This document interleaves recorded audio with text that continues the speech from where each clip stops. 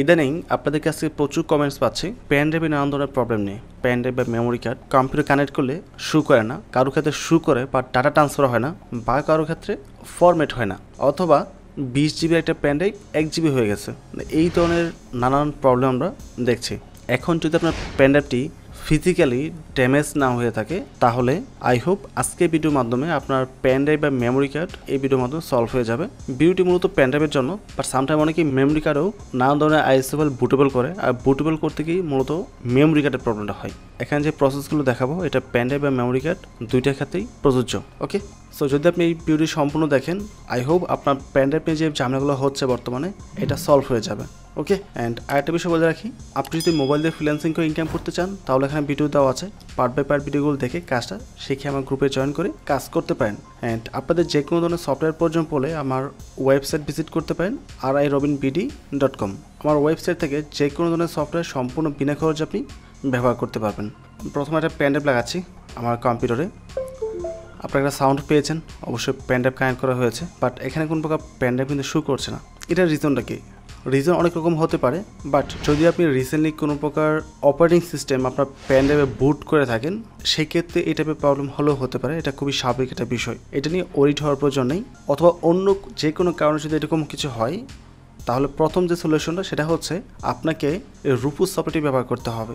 এটা যদি আপনার কম্পিউটার না থাকে, তাহলে গুগলে যাবেন রুফুস লিখে সার্চ করবেন। অথবা অফিসিয়াল ওয়েবসাইটে চলে যাবেন, তারপর স্ক্রল ডাউন করে নিচে আসবেন। এখানে উপরে যে বাসনটি পাবেন, এটার উপর ক্লিক করবেন, নিচে ডাউনলোড হয়ে যাবে। মাত্র এক এমবি একটা সফটওয়্যার ক্লিক করবেন ওপেন হবে।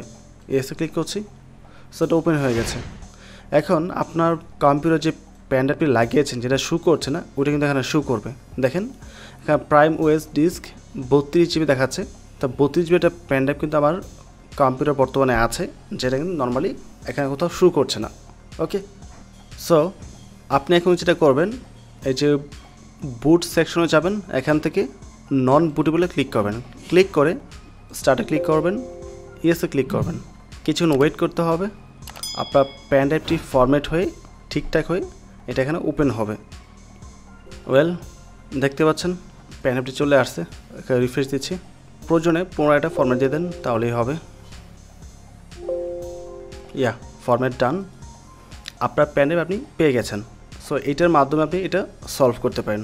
ওকে এখন আপনি চাইলে নামটা চেঞ্জ করতে পারেন। ওকে ইটস ডান এখন এটা খুলে ফেলছি। এখন আমি অন্য একটা প্যান্ডাপ লাগাবো। ওয়েল দেখতে পাচ্ছেন একটা প্যান্ডাপ চলে আসছে। সো এটা হচ্ছে আরেকটা প্যান ড্রাইভ তো দেখতে পাচ্ছেন এখানে শুধু ইউএসবি ড্রাইভ শো করছে। বাট কোনো কত জিবি প্যান ড্রাইভ বা কী আছে, না আছে, কিছু শো করছে না। যদি নর্মালি আমি প্যান ড্রাইভটি ফরম্যাট করা ট্রাই করি। ফরম্যাট হবে না। স্টার্টে ক্লিক করছি। ওকে সেই ফরম্যাট কিন্তু হচ্ছে না। এটা নাম চেঞ্জ করব, দেখি নাম চেঞ্জ হয় কিনা। না, সেটা হচ্ছে না। এখন এটা কিন্তু আপনি রুফুস সফটওয়্যার দিয়ে সলভ করতে পারবেন। বাট অন্য একটা উপায়ও আছে সেটা হচ্ছে কম্পিউটার ম্যানেজমেন্টে যেতে হবে। তারপর এখান থেকে আমরা ডিস্ক ম্যানেজমেন্টে আসতে হবে। সেটা হচ্ছে আপনার প্যান ড্রাইভ আনলক দেখাচ্ছে। রাইট ক্লিক করবেন, তারপর এখানে নিউ সিম্পল ভলিউমে ক্লিক করবেন। নেক্সটে ক্লিক করবেন, যা আছে তাই থাকবে জাস্ট নেক্সটে ক্লিক করবেন। একটা ড্রাইভের নাম দেবেন, যে কোনো ড্রাইভ নাম দিয়ে জাস্ট নেক্সটে ক্লিক করবেন দেন নেক্সটে ক্লিক করবেন দেন ফিনিশ আই হোপ এভাবে সলভ হয়ে যাবে। আপনাদের অনেকে প্যান ড্রাইভ এই ওয়েতে সলভ করতে হবে। আমি একাধিক ওয়ে দেখিয়ে দিচ্ছি, যেটা আপনার কাছে বেটার মনে হয়, ওইটা দিয়ে আপনি সলভ করতে পারেন ওকে কাজটা কমপ্লিট কেটে দিয়েছি সেই আমাদের প্যান ড্রাইভ চলে আসছে। সো দুইটা ওয়েতে কিন্তু আমরা সাকসেসফুলি কাজটা করতে পেরেছি, এবং সেম কাজটা কোনো কারণবশত যদি আপনার এইভাবে না হয়, তাহলে জাস্ট রুফুস সফটওয়্যারটি ব্যবহার করবেন। এটা দিয়ে নিশ্চিত এটা হয়ে যাবে। ওকে আবার এমনও হতে পারে, আপনার কম্পিউটার প্রপারলি কাজ করছে, একটা ফাইল ট্রান্সফার করে যখন অন্য একটা ল্যাপটপ বা ডেস্কটপে লাগাবেন, তখন প্যান অ্যাপটি শুরু করবে না।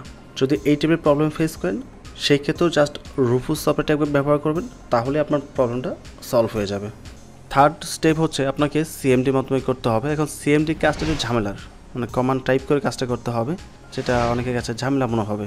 আই হোপ এটার মাধ্যমে আপনাদের সবার প্রবলেম সলভ হয়ে যাবে, আপনাকে সিএমডিতে যেতে হবে না। তারপরও যদি স্টিল কেউ প্রবলেম ফেস করেন কমেন্ট করে জানাবেন। প্রয়োজনে সিএমডি নিয়ে আমি একটা বিস্তারিত ভিডিও বানাবো অ্যান্ড মেক করলে অবশ্যই এই ভিডিও ডিসক্রিপশনে লিঙ্কটা দিয়ে রাখব। সো আপাতত যারা প্রবলেমগুলো ফেস করছেন, তারা এটার মাধ্যমে সলভ করতে পারবেন। ওকে যাদের এখনও সলভ হবে না, তারা নেক্সট ভিডিওটি অবশ্যই দেখবেন। সো আই হোপ আপনাদের প্রবলেমটা সলভ হয়ে গেছে। যদি ভিডিও ভালো লাগে, অবশ্যই চ্যানেলে সাবস্ক্রাইব করে পাশে থাকবেন এবং ভিডিওটিতে লাইক এবং কমেন্ট করতে ভুলবেন না। ভালো থাকবেন। আসসালামু আলাইকুম।